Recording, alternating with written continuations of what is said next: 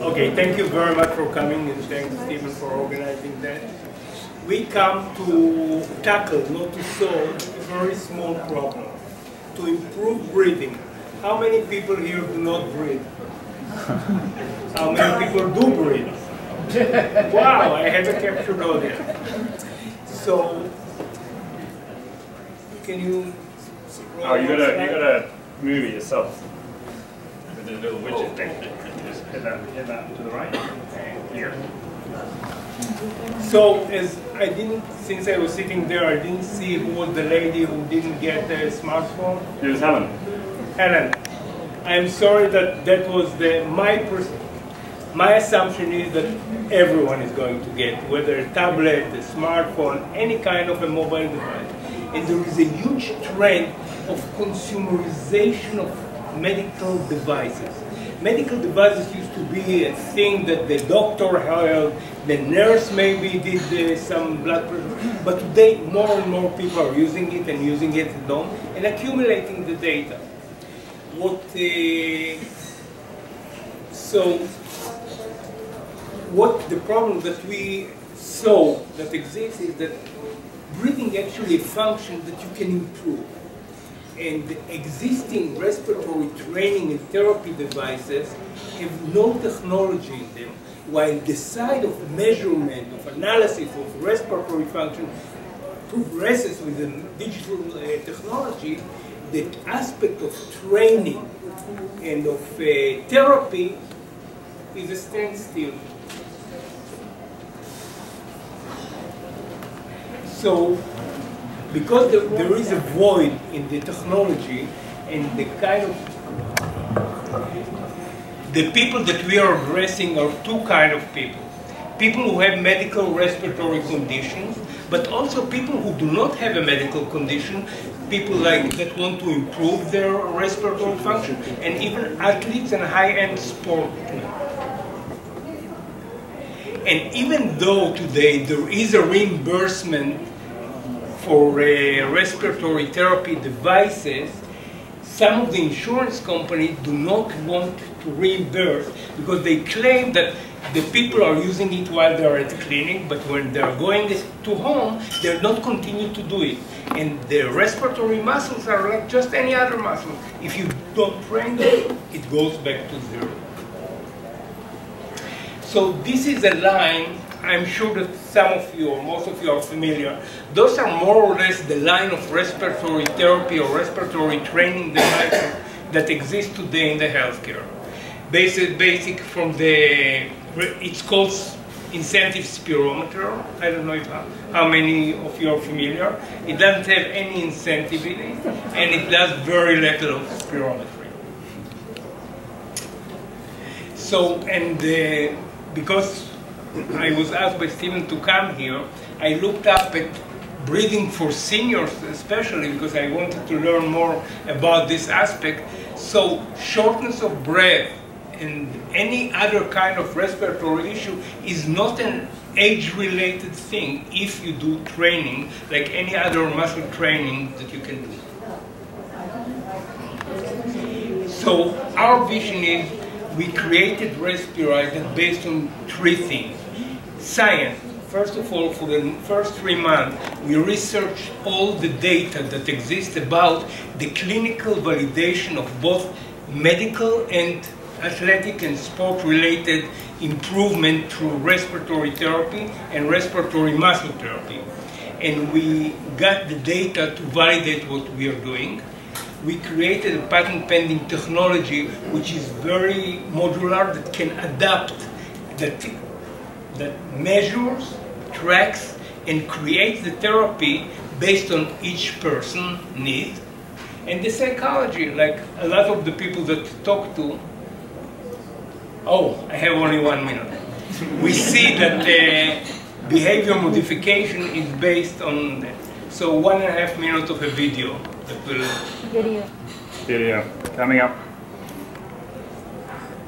We have a strange time. Uh, okay.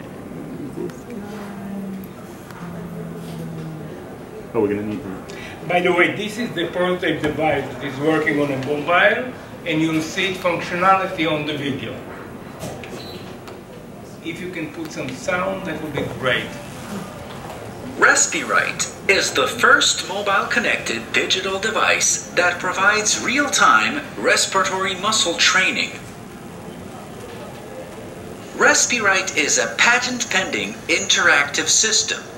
It measures both inspiratory and expiratory breathing for highly accurate respiratory testing, tracking, and training. With 10 different levels of resistance breathing capacity Respiright is an ideal way to enhance respiratory muscle fitness. Respiright is a data-driven biometric feedback system which helps optimize respiratory muscle resistance training and respiratory therapy. In healthcare, Respiright can be used in hospitals and at homes by caregivers and people with asthma, COPD, and other respiratory challenged patients. In sports, by training twice a day for 10 minutes, athletes such as runners, cyclists, and swimmers can experience improvement in endurance training after as little as three weeks of training.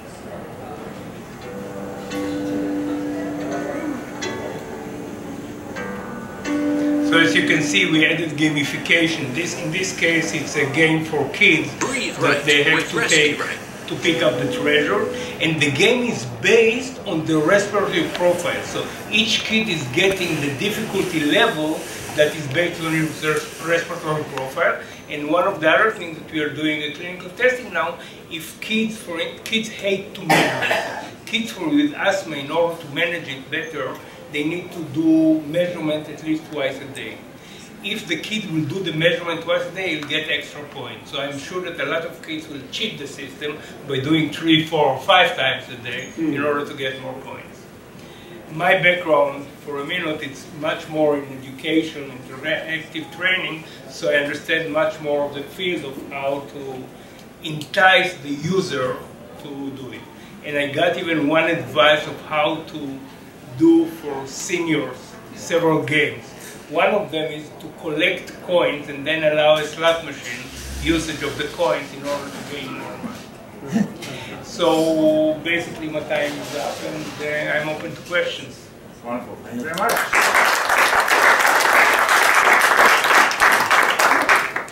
All right. I mean, we have something that's slightly different from the others, a bit more hardware uh, with its own complications. But you've had some experience with making hardware products in the past, right? Yes, I came from uh, many product development and I've created uh, products with plastic and electronics. I sold to a few companies, including Radio Shack, IBM, so I'm familiar with the process. Would you like this to be something that people can buy in uh, Target, or what are you thinking about distribution? Well, we are now discussing uh, with a major Chinese company that wants to take it into 60 countries, and this device can be sold as an FDA-approved respiratory therapy device or a non-FDA respiratory training device. So I can play with both of the field. It would be, we are, it's still premature. I would love to see it at home. I would love to see it in a hospital and then given to patients at home because it's not something that you need to do at the hospital and then disregard it. There are a lot of clinical studies, in major one in Australia, that kids who are doing those kind of training can reduce their medication between 50 to 86 percent. The same kind of study is now being, being done in the UK. And uh, there are many studies that show that post-operative patients can reduce the readmissions and time of uh, recovery by utilizing respiratory. So for that kind of application, do you have the device already FDA approved, or are you going to be seeking FDA approval? The way that we view it is uh, we'll create, I'm sorry, the question is whether the FDA has to approve the applications No, that device that the person was. Yes, if it, if I'm going to sell it as a respiratory therapy device and I want the uh, people to have reimbursement for it, I will have to go through the FDA process. Which is Right now, it's not. Right now, it's not approved. not yet. It's a prototype stage and we are now in. All right. Very good. Well, Bert, thank you so much.